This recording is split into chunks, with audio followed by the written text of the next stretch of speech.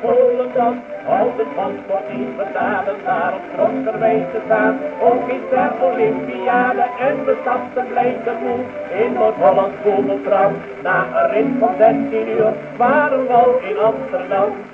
Oh, wat magisch. Wat een drukte in dat stadion, man. En wat geven die mensen ons allemaal aan? Ja, er kwam een meneer naar me toe, die zei, oh, jullie zijn zeker de voetballers uit Tokio. Ik zeg, nee, we komen regelrecht uit Volendam.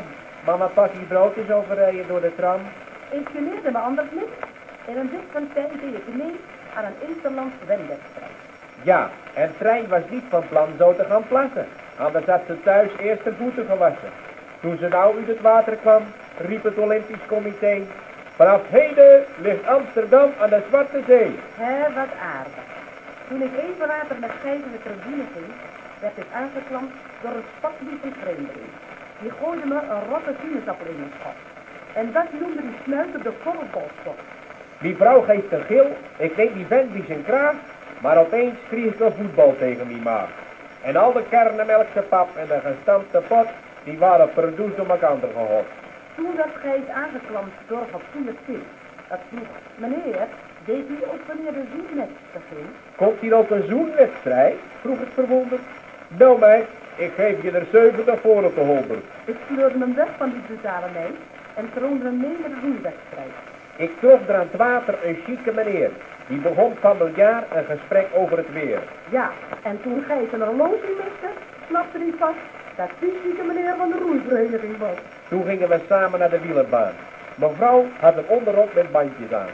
En toen ze er even bukken wou, toen brak er zo'n bandje. Ik lachte nog flauw. spook, ik moet eventjes weg, want als ik me niet vergis, heb ik banden weg. Toen de band weer gelapt was, was de wedstrijd gedaan. Toen zijn we naar een fijne restauratie gegaan. Ja, wij aten alles drie pakjes met vuurkool, met worst. En we zongen een afloop met volle borst.